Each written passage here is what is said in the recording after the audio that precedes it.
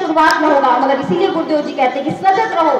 कि जब भी साधना करते समय, जब भी शांत बैठते समय कोई भी विचार आपके समय पर आ जाए, उसे एक पल में रोक दो। उसे शत्रु समाज समझ करके अपने आप से दूर कर दो और अपना मन जाप में लगाओ।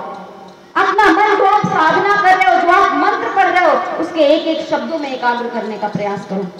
जब आप यह क्रियाओं को करते जाएँगे करते जाएँगे, जब माँ ओम का उच्चारण बार बार करते जाएँगे, जब प्राणायाम योग को आप अपने जीवन में धारण करते जाएँगे, जब यह जो दुर्गा चालीसा का पाठ आपको अभी कराया गया है, जब आप इसे नित्य दिन करते जाएँगे बार बार करते जाएँगे तो आपकी आत्मा का मंथन होगा। और मंथन होने से आपके जो दूषित विचार हैं, आप